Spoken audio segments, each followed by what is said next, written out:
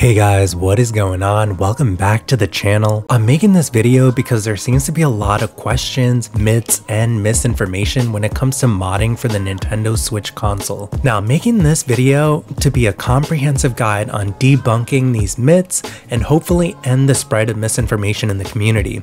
Now, this video is solely going to talk about the Switch console overall and not about modding any specific game. Now, I will make another video for Animal Crossing modding myths and tips for newbies in my next next video, so make sure you guys subscribe to my channel and like the video if you guys enjoy my content. First and foremost, can anyone with a Nintendo Switch hack it? No, you can't hack any Nintendo Switch, you need a V1 model Switch. Usually this means Switches produced from early 2018 and prior can be modded. Now there was a specific vulnerability in these early Switch models which allow modding possible. All new Switches that have come out since have this vulnerability quote unquote patched, which is where the term patched and unpatched come from. The easiest way to check if your Switch is either patched or unpatched would be to simply go to ismyswitchpatched.com and type in the serial number with the four letter prefix on the underside of your Switch to see if you can mod it. Now question number two, you said only V1 model switches are moddable,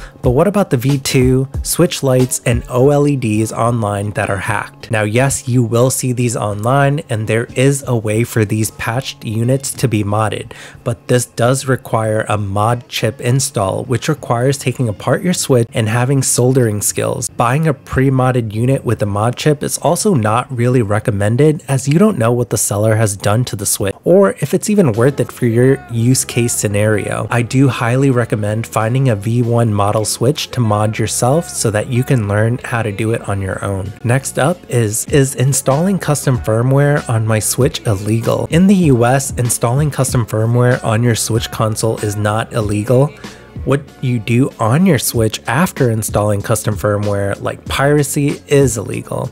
Check your country's laws for more information if you are concerned about this. Can I get banned for hacking or modding my Nintendo Switch? Now this is a very complicated question and I wish I can give you guys a straight answer, but it does require you to understand a lot of technical terms. I'll go more in depth in this video later, but the short answer is yes. Of course you can get banned for modding your Nintendo Switch. However, this depends on what you are doing with your Switch. So let's talk about that, which will lead to our next question. I don't understand what OFW, syscfw, or emuMMC are. Do I even need them? Now there are three options for your Switch. You can boot it into OFW, which is your original operating firmware, which has no mods basically your vanilla switch. There's syscfw, meaning you are essentially booting into your switch with custom firmware loaded. Your syscfw and OFW are shared. Whatever you do on one is always reflected on the other.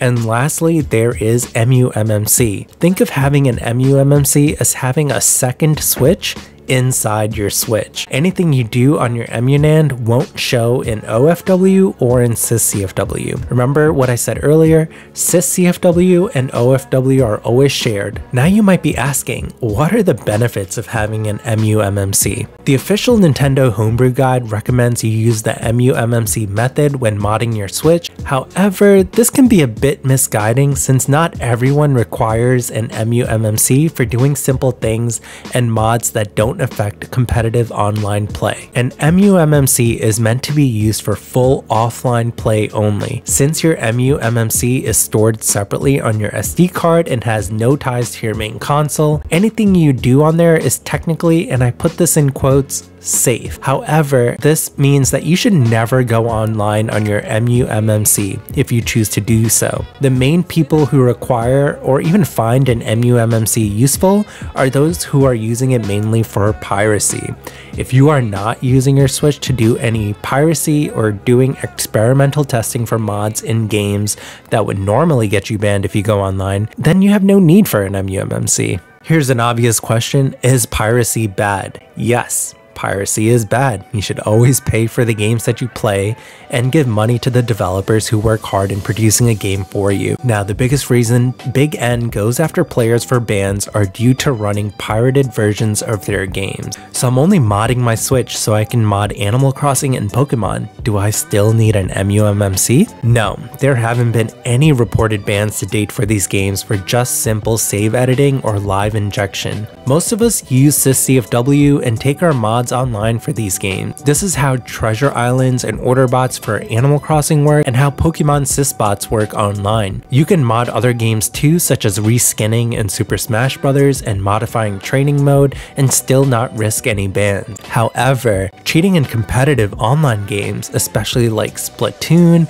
and modifying character stats in Smash for example, will get you a ban on your console. Be smart about what you're doing and if you're unsure, ask a credible source or Discord server before doing it yourself. So now you might be wondering, I created an emuMMC before watching this video and now I realize I had no need for it. Am I at risk? Will I get banned now? No.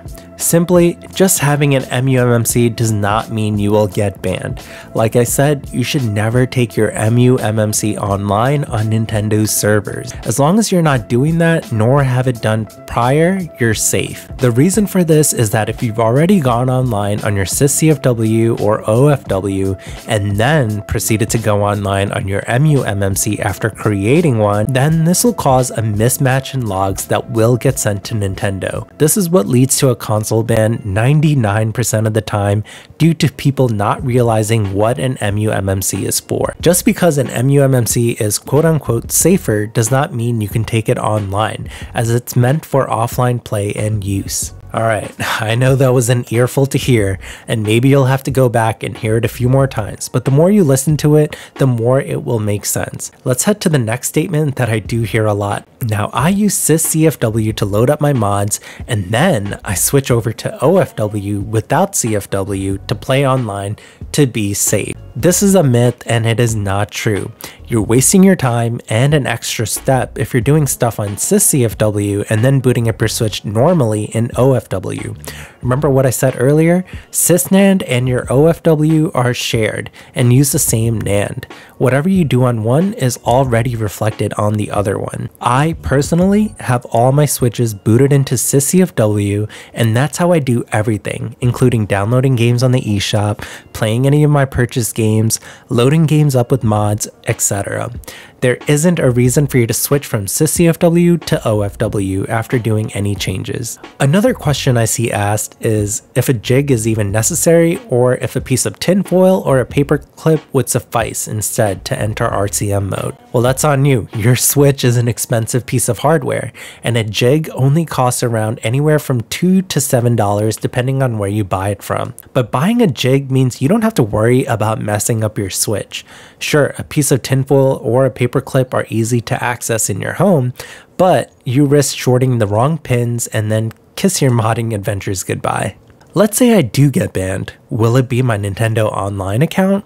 Now I hear this question a lot no, if you decide to go through with modding your Switch console and somehow messed up along the way, whether it be piracy or going online on your emunand when you weren't supposed to, it would only lead to a console hardware ban. Your Nintendo Online account is generally safe. I haven't seen or heard of anyone getting their Nintendo Online account being banned, unless you were doing some sketchy fraudulent behavior on the eShop, where Nintendo deemed it necessary to ban your online account. This includes like sketchy chargebacks. Another popular question is, does it matter if I have a digital or physical game on my modded Switch console? It doesn't matter whether you have a digital or physical game. Remember, if your Switch console got banned, it wouldn't matter if you had a digital game or a physical copy, as you can't play those games online anyway on the banned console. You don't even need an emuMMC once it's banned since you have no reason to protect yourself from Nintendo since you're already banned from their servers. So a band Switch isn't entirely useless if you get my drift, and is still worth a lot of money if you were to sell it online. I do have to admit there are some upsides to owning a digital game since I have multiple Switches. I use it to game share my one digitally bought game on two separate consoles at the same time. Now I do have a video on game sharing so feel free to check that out if you're interested. I'll also link it in the description below. Should I turn auto updates off for when the Switch firmware updates? Yes, it's good practice to turn this off since updating your Switch might render Atmosphere and Hekate useless until there is an update for them. Now we are getting towards the end of the video, so hang in there. There's only a few more questions that I need to get answered. Now the next one is, what is a Switch firmware update versus a software update? A Switch firmware update is when there is an update for the console itself. A software update is in relation to a game update. Now, when your Switch firmware is updating, it affects Atmosphere and Hekate, so it's possible you might need to wait for those two to update uh, in order for you to get back into CFW. This is why we advise you to keep auto updates off so you can still use your Switch in CFW while the devs of AMS and Hekate push out an update. Just remember that a software update for a game has no effect on Atmosphere or Hekate. However, the tools you use for those games might be affected instead. So let's say NHSE or Poker for Animal Crossing or PK Hex for Pokemon would need to be updated if there was a software update. Now you really don't need to panic if you do accidentally update on these days, especially if you're a newbie. You might run into some errors, but this is only because you don't have the updated programs. Once they're all updated, all you have to do is put them back onto your console and you'll be running back in in CFW in no time. Now regarding updates, can I update my Switch firmware while I'm on CFW or do I need to go back into stock